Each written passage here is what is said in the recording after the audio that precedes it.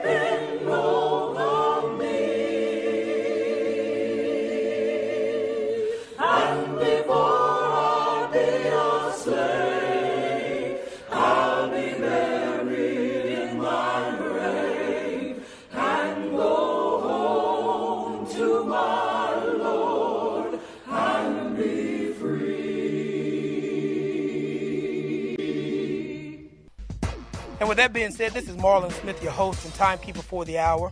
And you have stepped onto the yard once again wherein Black Greeks speak. So everyone get your pens and notebooks out. We're about to go on a history lesson. Let's link up.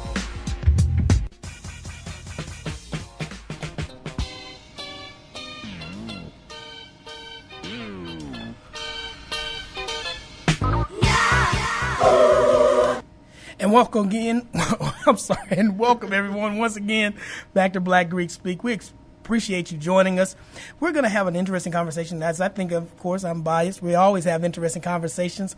Uh, but this week we've had this um, time to explore this movie, 12 Years a Slave, that many people have had certain feedback on, some positive, some negative. Some I think is very intriguing, both scholars and actors, and then just everyday walking around people. I've heard some um, interesting comments both about the images of black bodies as slaves in mass mediated spaces and and kind of the limiting the way which in which we limit um, the cultural memory of, of the black experience in, in America. And so I disagree with that a little bit, but but in that I wanted to kind of have a conversation, not only as we talk to individuals who come through Black Greek letter organizations, but how those images reflect where we are now and how do we think about uh, what it means to be free and the ideas and concepts of liberty and justice in 2013 in light of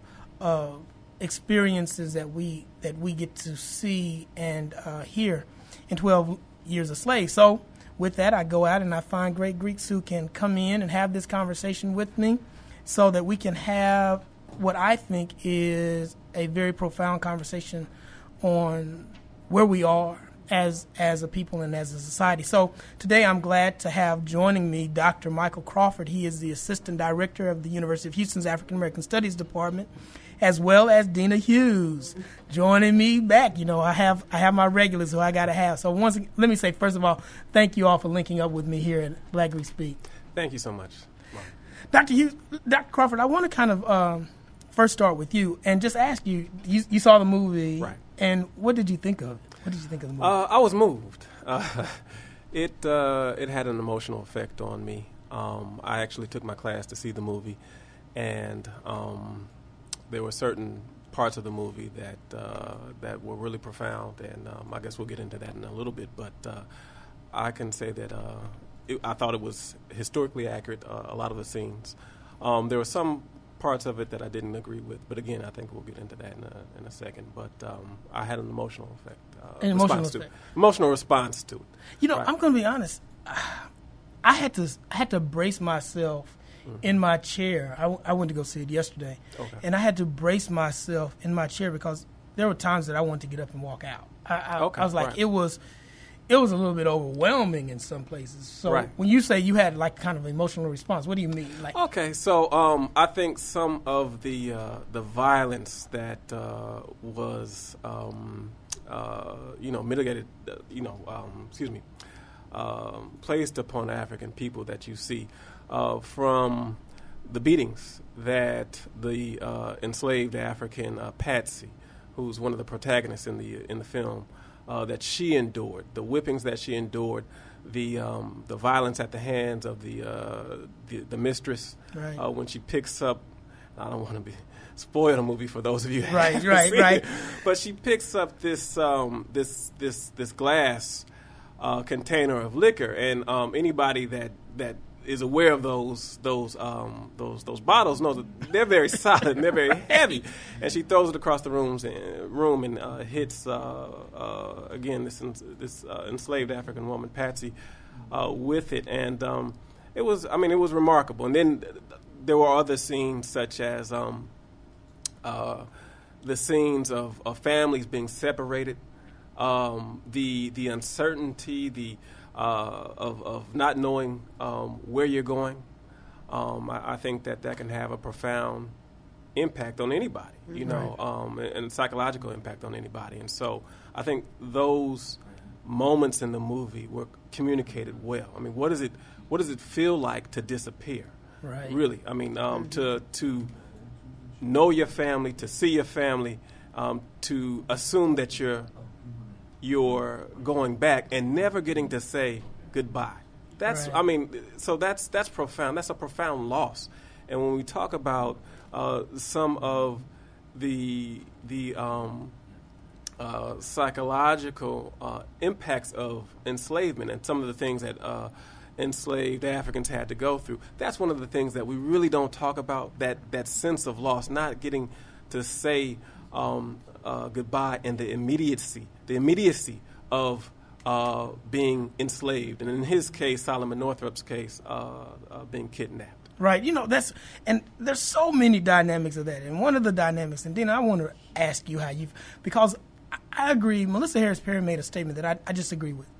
What, what I really appreciated about the movie was it dispelled the myth of innocent white women as kind of bystanders to racial racial slavery in our and you know so in this country like somehow they that that they did not really participate they were kind of like bystanders. And and that movie dis- dispelled that Clearly, idea yeah, you know? And so i wondered like as a woman like w- w- dr uh, crawford was talking about the kind of emotional response that he had and i know i had a serious one. I'm, I'm wondering how did you kind of relate to the movie when you Yeah, it, I mean, it, of course, I completely agree. It was a very powerful uh, piece. I mean, do you call it art? Do you call it history? Do you call it education? You know, it was just moving. I read the book, um, and one of the things that I, I think I I appreciate about the learning process is that every day you get to learn something new. Right. I didn't really learn about the book until uh, I was probably in my 30s, and so being exposed to the characters uh, from the book was one thing, but seeing them on the screen was just Wow. amazing. It was so, and Patsy just broke my heart, and and it made me connect um, visually with what women also endured during that, That- that- process. that- and that's I wish we would have seen more about the impact from their family um, before, because there was a very vivid and rich story about his family before, which led to the real heartbreak when he was kidnapped. Well, let's talk about that on this other side. If you are listening and you want to join in on the conversation, you can definitely do so by dialing in at 800 970 8716 or liking us on Black Greek Speak with Marlon Smith on Facebook. We'll be back in one moment after this. Spanning the globe. MJWJ, Global Radio Network. Listening to MJWJ, Global Radio Network, the feel good talk radio network. The feel good talk radio network. And once again, you're back with us at Black Greek Speak. This is Marlon Smith, and linked up with me today uh, as we're talking about 12 years of slave and the uh, slavery and the instance of how the ways in which that, that movie kind of just impacted us and how we, how I think it impacts the way we talk about race today is uh, Dr. Malachi Crawford, the assistant director at the University of Houston's African American Studies Department, and go Cougs. Yeah, go. Yeah, we got all these Cougs in the house. Don't we? we got Coug Night and Dina Dina Hughes here joining us, linked up with me as well. And Dina, we were talking about this idea of you know you you said you wish they would have had more of a conversation about the narrative about about the family. And I thought that that was a really interesting kind of dynamic. We talked about all the different yeah. ways in which that movie kind of depicted certain things that we didn't get a chance to have see fully displayed out. One right. of them for me was the way in which really black certain black people, both the enslaved black people and free black people, both participated in the the slave system, the slavery system, right? Like Solomon Northup and his family were okay with these slaves walking around them. You know, when when you had that that slave that walked into the store that because they he was he was just right. amazed to see these free black slaves walking into a white man's store. Yet Solomon was very he lived his he lived his life. I yeah, mean, lived his life, and and and and we. I'm I'm just curious how you all thought about that, and so my Please. take on that, uh, my take on that was that existed. Um, that that existed. There were definitely uh, individuals uh, when you, you know, you can sort of get a glimpse of how individuals were uh, African Americans um, who were free.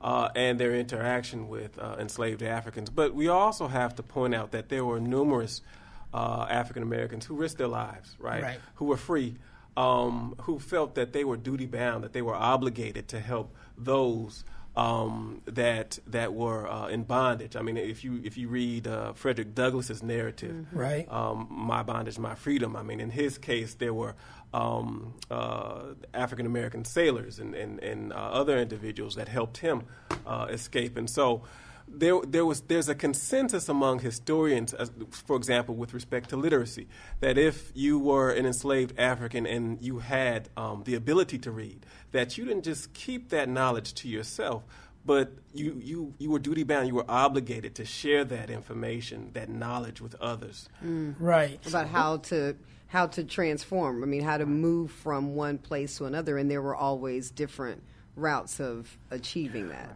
Right. I had a conversation with a great friend of mine, and, and, and we were talking about this idea, and I, and I said, African Americans, we, we, one, we are not capitalists. At best, we're socio-capitalists, right? That we, we exist and we understand ourselves really in social spaces. That is the way we understood uplift. And, and we understand that is because unlike every other kind of populated persons in this country, probably with the exceptions of Native Americans, our experience as African Americans is not as immigrant citizens, but as right. enslaved persons. And so, as enslaved persons, we didn't look at capitalism as we, you know, right. w- once again that that movie, that that movie was very telling of that because when even when Solomon is leaving, right, and maybe we're giving away too much, but it was so interesting that the slave owner even as mad as he was as Solomon was leaving, never acknowledged that Solomon was a person. He was always right. his property. Right. Mm-hmm. That is my property. That is a capitalist kind of way of thinking. But even in his, and again, this is not giving away the story, it is right. the story, and you can read it clearly. When Solomon attempted to, you know, secure his. Um, his position under the law, he was viewed as property right. and was unable to even testify against the person who violated him. I just think that that is, you know, there was such a we saw the middle and and I hear the criticisms from the community and from folks who say, you know, we're tired of slave movies. There was more to tell for sure about about that story. I don't think we have enough. I, I, agree. Yeah, I just don't, don't, think that we have enough. But um, getting back to, to one of the points that you raised, Marlon, about, um, you know, one of the profound questions I think that this movie dealt with, right, that's sort of implicit is um, we're seeing someone move from freedom to slavery, right? Right. And it's like, how do you make a slave? Right, and part of that is uh, accepting wow. people's definitions of who you are. And so there's a moment when Solomon is struggling with the name that someone, you know, yes, one of the characters is, is giving him Platt, and it's just like he's like, no, my name is Solomon. No, you know, your name is Platt, and so um, that's that's that scene uh, reoccurs. We can imagine uh, throughout world mm-hmm. history, throughout right. our history, right? And so you begin to accept these definitions, other people's definitions but, okay, of you. That's a great conversation, right? Because, okay, here's where I think that that is, and when people say, you know, Nick Cannon, you know, and and Elise, you know, what what is her name? Elise um, Neal. Neal. Elise Neal both criticized the movie, and they were like very very upset. In fact, um, Elise Neal makes this statement. She's quoted as saying that why do we need these movies to remind us of where we used to be, right? She said, I feel like that's not what we should be doing, right? We should be having these other kind of conversations. And and and to your point, uh, once again, everybody knows that my scholarship in you know kind of indoctrinates my whole kind of thinking. But as I deal with the felon, right, as a as a deconstructed human, you're right because that that that taking away Solomon's name to be Platt. To me, we have this same issue when we talk, start talking about incarceration, and I say that on two ways, on two levels that I find it problematic, and this is my kind of concern even when I'm looking at Solomon Northup as this kind of complex character. You're okay with slavery until you become a slave, right? Everybody's okay, for instance, with incarceration and the way mm-hmm. incarceration works until, of course, yours is incarcerated, and then right. and then it's right. a, and then it's a big issue, right? And so. And we think about these modern day ways in which we're enslaving people. You talk about this kind of way in which we capture people. Like right. Solomon's story is is interesting and complex for us because he was free and then captured. And to me, I'm looking at this once again you know, I, I live my life all, all day studying and, and, and, talking about incarceration, but but as such, that is the role of incarceration. It is taking freedom right. and finding a systematic way to not only capture people, but then to dehumanize them in the process. I would agree. Mm. And that and that to me is what Solomon did. Listen, once again, you're you're listening to us at Black Greek Speak with Marlon Smith. You can always call in at 800-970-8716. You can also like us on Facebook at Black Greek Speak with Marlon Smith. We'll be right back in one more. Talk Radio Network. The Feel Good Talk Radio Network.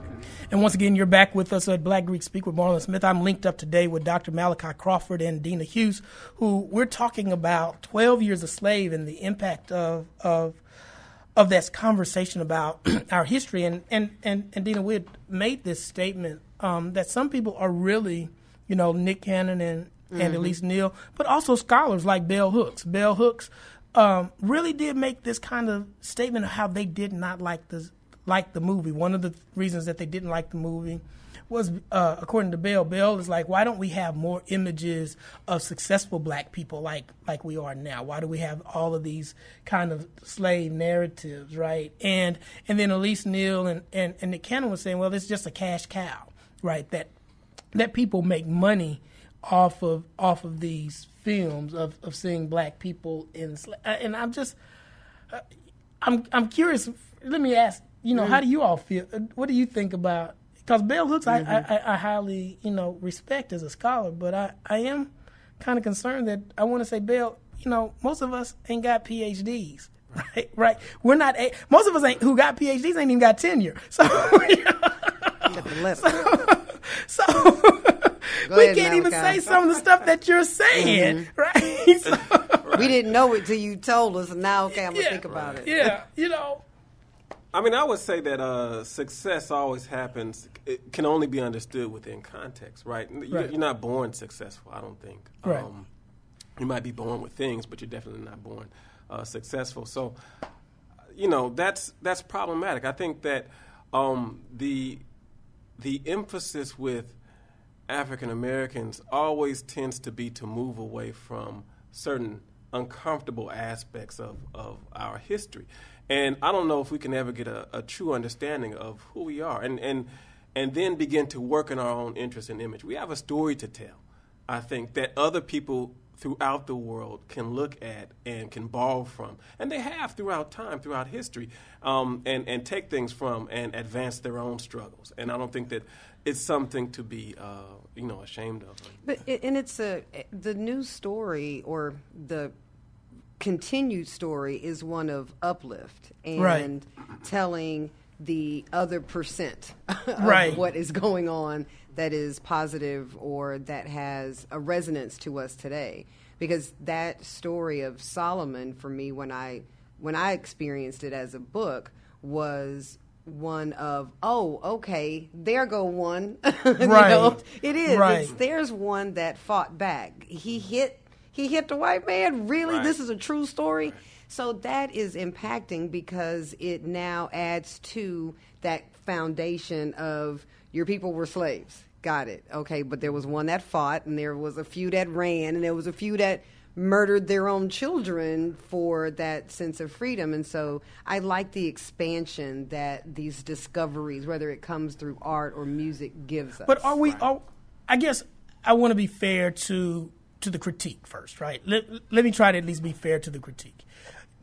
Are we are we being imaged in mass mediated spaces in such a way that people do not see the complexity of what it means to be black in this country, right? Or, and are we are, are we only talking about and, and imaged as as oppressed and marginalized, and and thus we're not able to kind of be fully m- more complex. We're not fully human in these spaces because of that. Well, I would think that you know movies like Twelve Years a Slave would make it uncomfortable for certain celebrities that um, whose narratives are built around uh, sort of success stories, mm-hmm. race-related success stories, and so when they when they're running in certain circles, it makes uh, you know certain people comfortable, right? Mm. It, you know, so they don't have to um, look at or, or, think about what's you know sort of referred to as the Negro problem, you know, the right. rest of you know the other percent, right? Mm-hmm. Um, and so those movies become uncomfortable for individuals again who run in certain circles where everybody's not a success, right? And right. people can't point to you. Um, so mm. I mean, you know, the symbols that we have um, on te- there are no main drama series uh, on television dealing with enslavement that I know of. There are a lot of comedies right. um, that we have. Um, there are a lot of romance stories. You know, people jumping on tables and things like that. But it's, it, it's crazy. Mm-hmm. Oh, indeed, it is crazy because I think about Orlando Patterson wrote a book entitled "Slavery and Social Death," right? And and he talked about and even Solomon Northup's story is really that. Solomon is like he's a musician. He's very much engaged as a social agent, right, in in this kind of community, and that once he became enslaved he was no longer, you know, it's like a real social death, right? That you were isolated. And yet again, you're right. I think about part of the thing that I hear when I hear these critiques are people who really are engaged, who, who are not isolated, right? Because poverty isolates you. It is a social kind of death, right? That mm-hmm. incarceration isolates you. It's a, it's a way of social death. And so some people, I think the problem that I have is your existence is really as a social being. And so, to be placed and imaged with people who are isolated. That's that's antithetical to what you're trying to be because you're trying to be this kind of image uh, that you're trying to image yourself as this person that occupies, occupies all these social spaces right? And i think that that's but the, the the complexity of it is that it's complex. Right. i mean i mean at the end of the day you can't tell me enough stories about my people. You just can't. Right. There's not enough of them to get out. I want to know, and I, I think as a as a parent, you know, uh, of teenagers, when I listen to the conversations, and I'd love to know what your students thought about the movie too. But when I think about you know what they're learning and how much you have to fill in the gap. Because for a person who is isolated and a person who might feel like all of these weights are on them, to see one brother fight back right. is inspirational. It and is you almost don't know what to do with it because it's almost like saying, if he fought back, so can you. Right. But is that our? Uh, but are we willing to take it, even that challenge? Is that is that a generational thing? I am curious. What did your students think about that movie?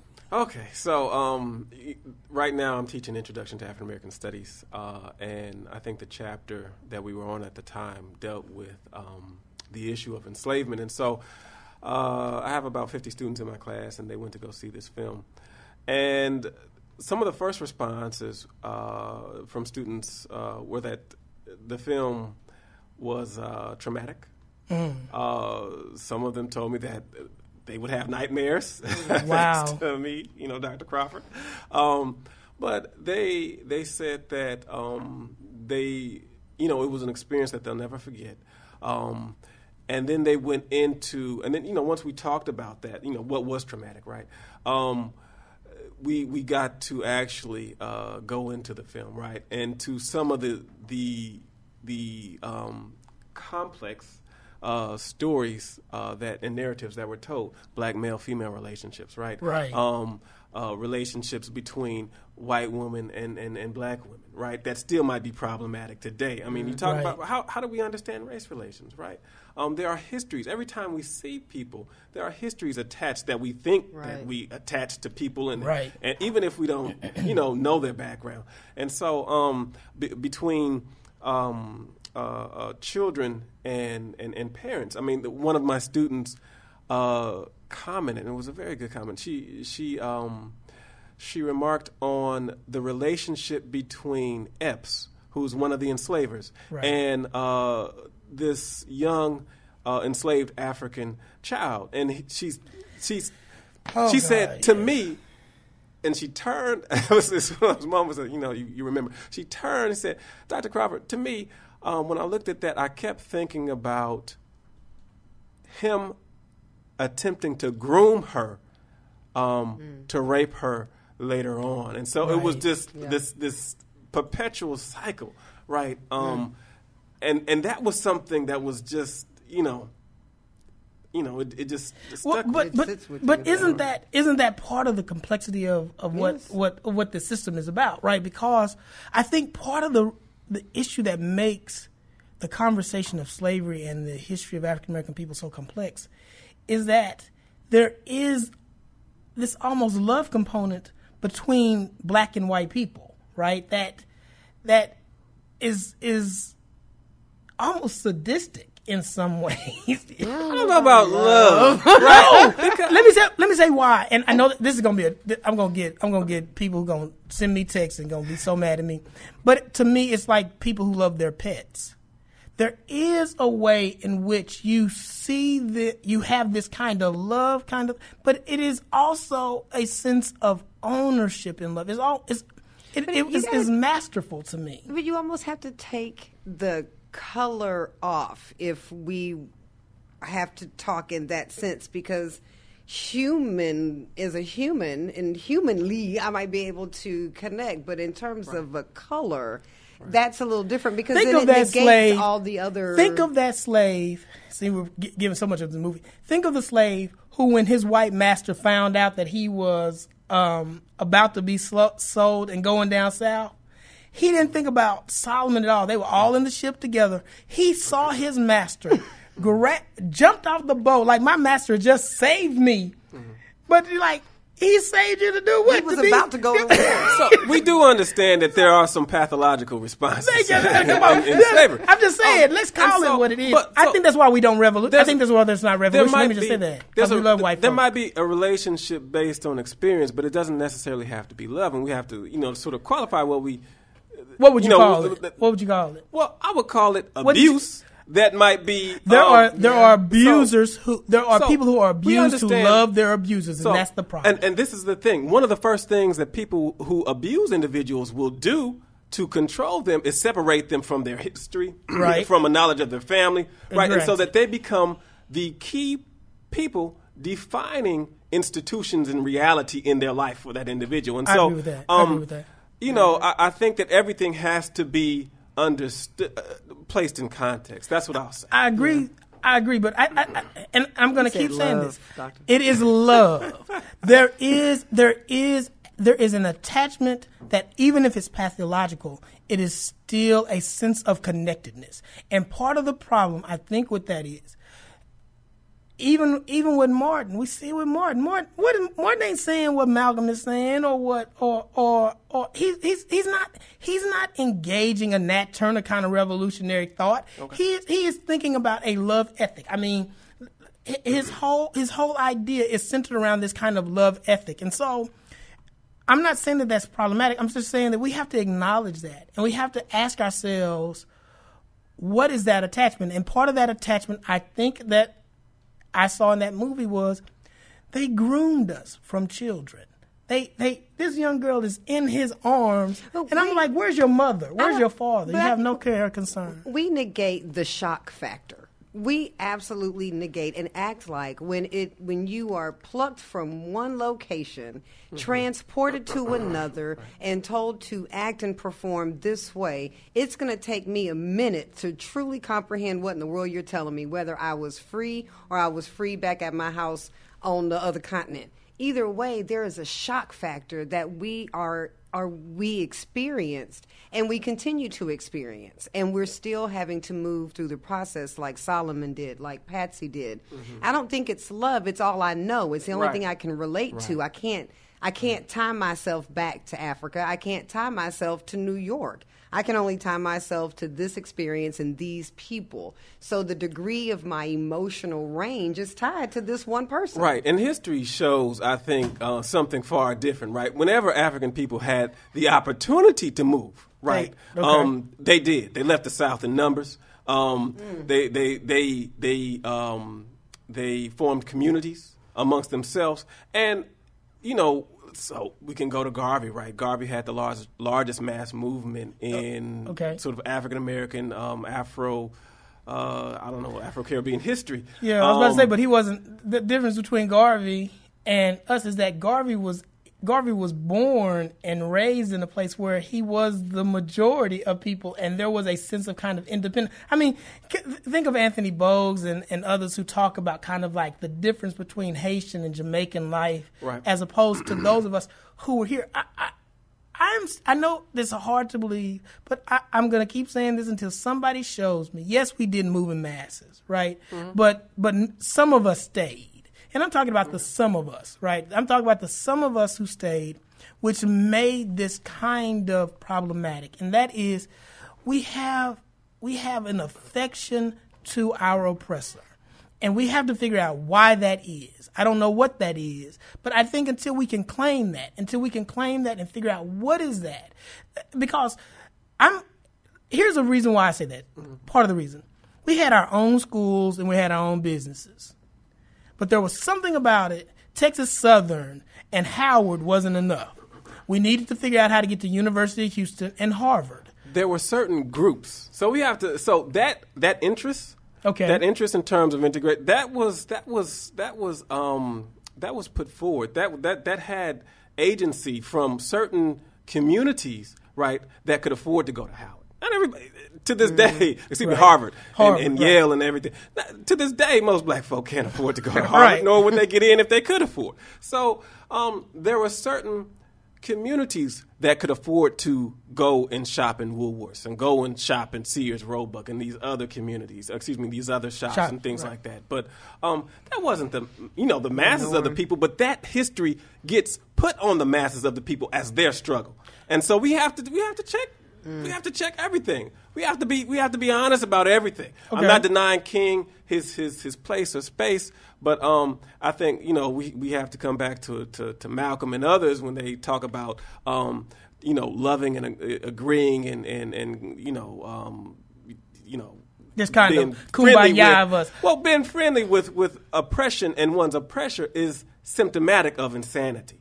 Hmm. Um, and so you redefine it. I mean, again, we dealing with terms. you, you, you define it, and so for me at least, that's a good point. I can I okay. can say I can say um, there are definitely there are definitely that aspect of uh, sort of African American society that does have a kinship and kinship love. or yeah, you know what they believe. And, and I think let me say part of that is you know, I know all of y'all want pure like me. Some of y'all have have that blood in y'all. So th- how how do you deal with how do you, Solomon was Solomon was in love with but his people. As far before. as I know, but, but, let me say, let me say, let me just say, I'm not trying to be funny, but but I, I make that joke, ho, ho, uh, you know, half heartedly. But but really, what do you do in the story when you have this this African woman, mm-hmm. slave who is enslaved, who tells you she's now had this very, what I think is sadistic kind of sexual relationship with an, her master.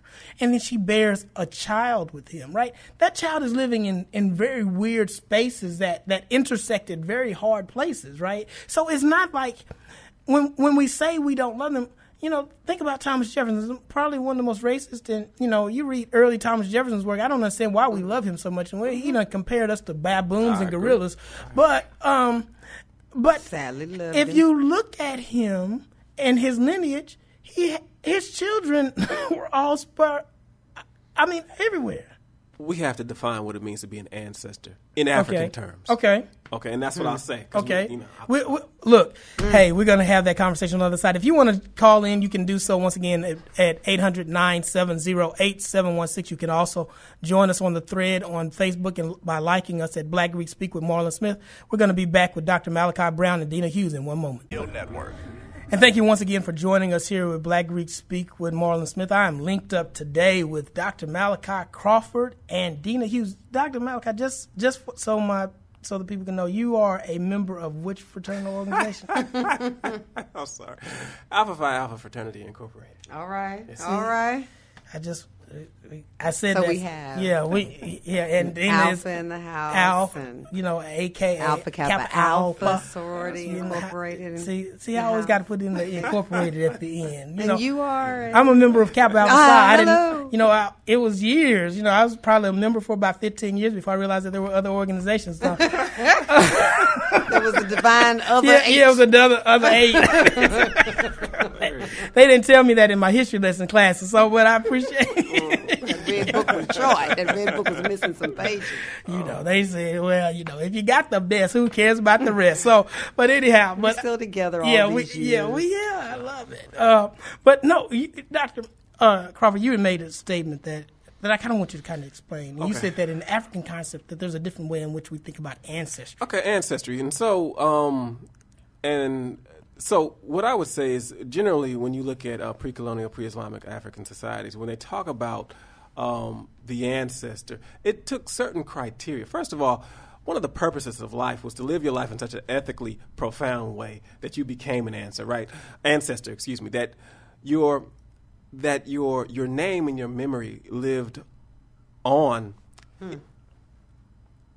Mm. on the tongues of the people, right? They called on you at time um, during times of trouble, um, uh, in perpetuity. So that's what it means to be an ancestor. And it was based about, excuse me, it was based around uh, character, character issues, right? Okay. Good conduct, great deeds. Even to this day, when we um, look at African American society, um, you can have a blood relationship with someone, but if they're not a father, if they're not doing the things that they're supposed to do in terms of, of, of character, being responsible, being accountable, then in African American society, we don't call them a father. We call them a, a sperm donor. Excuse my language. Yeah, but so we, we don't we don't give them ancestry. And so when we mention people like Thomas Jefferson and others, it always boggles my mind when you know you, you have individuals saying, "I want to you know go back and find my ancestors." And you know my, my, my white ancestors. And my thing is, if if you have white ancestors, ancestors, that's great, but define what it means to be an ancestor. Were the ancestor were, were these individuals that acknowledged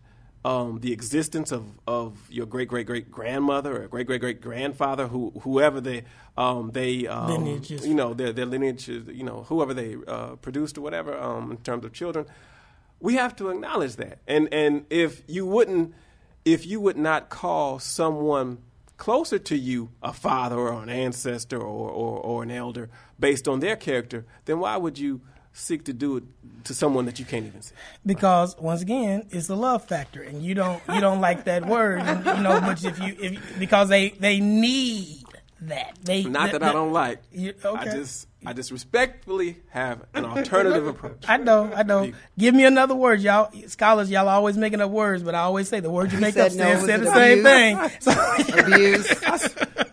the words you make abuse. up, the words you make up, yeah, it, it all manipulate. Call, yeah, call mm. a rose and any other name is still the same. But but let me let me ask a really kind of serious question. This is this kind of takes us to um, some of the questions that Bell Hooks and and and Elise Neal mm-hmm. uh, are asking. And that is, okay, so we, we know the story, right? What do we do now with that story? What are we supposed to do now that we've heard Solomon Northup's story? What are we supposed to do with that now? Because, hmm. one is share it. I mean, I think that's I, I, like to stick in the fundamentals. I can appreciate you all with your PhDs and the academics, and I mean, and that's that is definitely a piece, like we were just talking about. Everyone has a transition, but as a as a parent, you know, on the ground, I need to keep sharing it. I need to use it as an example. I need to use that information, um, you know, as those moments to encourage my children or to encourage someone else because that's what it was for me. It was uplifting and motivational and useful for encouragement. So sharing it is the one thing that has to be done. So, so part of so part of what you're saying is that the reason why, I, I guess some people are asking the question, and maybe I, I'm misreading what Elise Neal is saying, but she she's asking the question: Why do we need to keep on talking about what happened in the past? And so I guess why she's asking: Why do we even need to keep on sharing that story?